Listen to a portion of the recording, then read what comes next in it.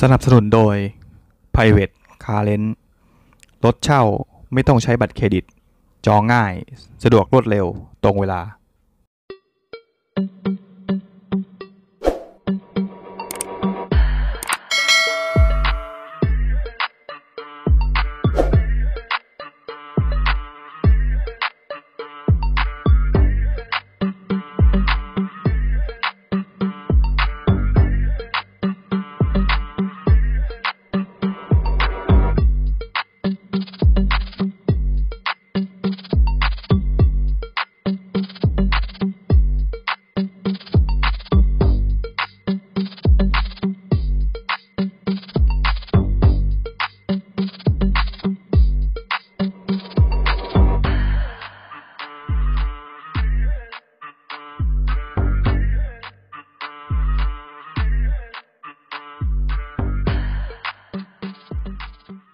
ฉางอัน Deep Blue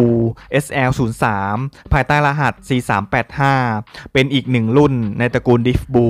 ที่ถูกติดตั้งขุมพลังเซลล์เชื้อเพลิงไฮโดรเจน คือเรือธงของซีดานสปอร์ตรุ่นนี้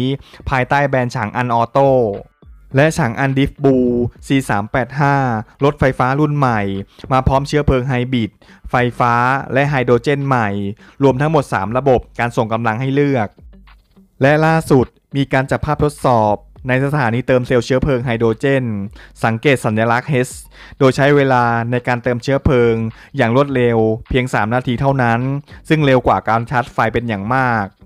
โดยขนาดของตัวถัง SL03 จะมีความยาว 4,820 มิลลิเมตร กว้าง 1,890 มิลลิเมตร สูง 1,480 มิลลิเมตร และระยะฐานล้อ 2,900 มิลลิเมตร สำหรับรูปลักษณ์ภายนอกของ SL03 จะใช้แนวคิดการออกแบบสไตล์รถยนต์ไฟฟ้า โดยมีกระจังหน้าแบบปิด พร้อมไฟส่องสว่างเวลากลางวันแบบ LED ที่เพียวบาง ทำให้รถยนต์ดูทันสมัยมากขึ้น และมาพร้อมไฟหน้าแบบ Matic Function ที่ปรับแสงได้อัตโนมัติ พร้อมมือจับประตูแบบซ่อนกับตัวถังรถ กรอบหน้าต่างแบบโครเมียมลมดำส่วนด้านท้าย ได้รับการออกแบบให้ดูทันสมัย พร้อมกลุ่มไฟท้ายแบบ LED ลากยาวเชื่อมต่อกัน และมีสปอยเลอร์ในตัวสำหรับภายในห้องโดยสารของ SL03 จะมาพร้อมกับการออกแบบที่ดูเรียบหรู หน้าจอสัมผัสแบบลอย ขนาด 14.6 นิ้ว สามารถหมุนได้ 15 องศาซ้ายขวา หน้าปัดแบบ Full LED และพวงมาลัยแบบท้ายตัด ส่วนเบาะนั่งและแผงประตูรวมถึงที่พักแขน จะมีการหุ้มหนังอย่างดี เพิ่มความรู้สึกระดับพรีเมียมมากขึ้น ส่วนหลังคาจะเป็นแบบพาโนรามิก ขนาด 1.9 ตารางเมตร ส่วนในด้านขุมพลังเครื่องยนต์ของ SL03 จะติดตั้งระบบเซลล์เชื้อเพลิงไฮโดรเจน ที่มีกำลังสูงสุด 160 กิโลวัตต์ หรือ 218 แรงม้า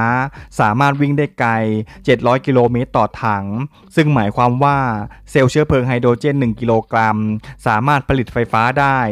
20.5 กิโลวัตต์อาว และมีอัตราการสิ้นเปลืองเชื้อเพลิง เพียง 0.65 กิโลเมตร ต่อ 100 กิโลเมตรเท่านั้น ตามมาตรฐาน CLTC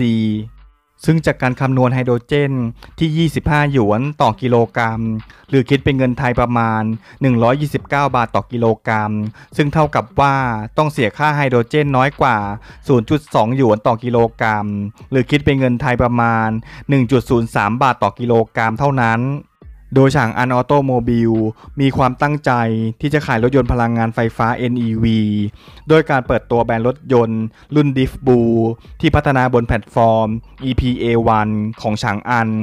ซึ่งอยู่ในตำแหน่งซีดานไฟฟ้าในขนาดกลาง ที่สามารถแข่งขันกับ BYD Seal และ Tesla Model 3 ส่วนระบบช่วงล่างและระบบความปลอดภัยของ SL03 ฉางอันสติบู จะใช้ระบบกันสะเทือนหลังแบบ H-Arm Multi-link อิสระ และระบบขับเคลื่อนล้อหลัง โดยรองรับมอเตอร์ไฟฟ้าคู่ และมีระบบขับเคลื่อน 4 ล้อ โดยจะติดตั้งตัวควบคุมอัจฉริยะฉางอัน Smart Coreโดยใช้ชิป Qualcomm 8155 สามารถรองรับการอัปเกรด OTA โดยรถรุ่นนี้มีเซ็นเซอร์มากกว่า 27 ตัว ทำให้สามารถรองรับการขับขี่ระดับสูง L4 และรองรับ Auto Pilot หรือระบบขับเคลื่อนอัตโนมัติได้อีกด้วย สำหรับราคาจำหน่ายฉางอัน Deep Blue SL03 รุ่นเซลล์เชื้อเพลิงไฮโดรเจน หรือ FCEV โดยจะประกาศราคาขายล่วงหน้าของรถรุ่นใหม่นี้ในประเทศจีน โดยเปิดราคาอยู่ที่